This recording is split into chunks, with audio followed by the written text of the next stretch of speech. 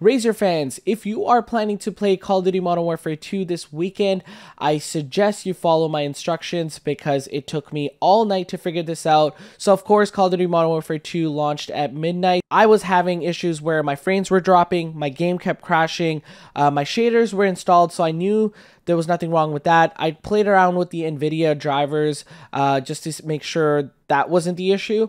And then I realized the Razer Cortex application was ruining the game experience from frame drops um, to hindering my VRAM usage and also messing with my graphics card altogether. Uh, so once I uninstalled this application, went back in, I was able to play it just fine. So if you're having any game crash issues, frame drops, and you have Razer Cortex, please uninstall this application because that's the root cause.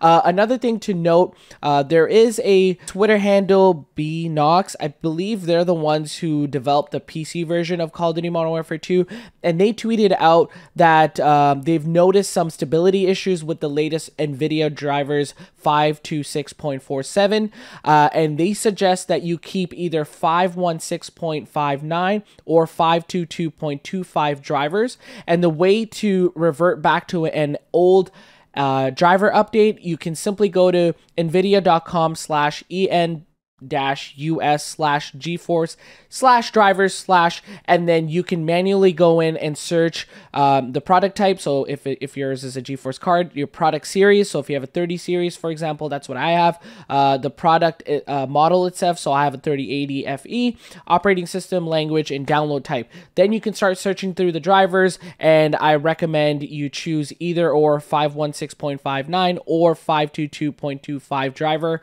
uh, to get the most out of your your game. Uh, so that's it, guys. I just want to make this quick public announcement to ensure that you're able to play uh, and put in the hours of camo grind just like me uh, this weekend. So hope you guys have fun, enjoy the game, and uh, leave a comment below if you if this fixed it, and uh, let me know your thoughts about Call of Duty Modern Warfare 2 so far. Have a great one.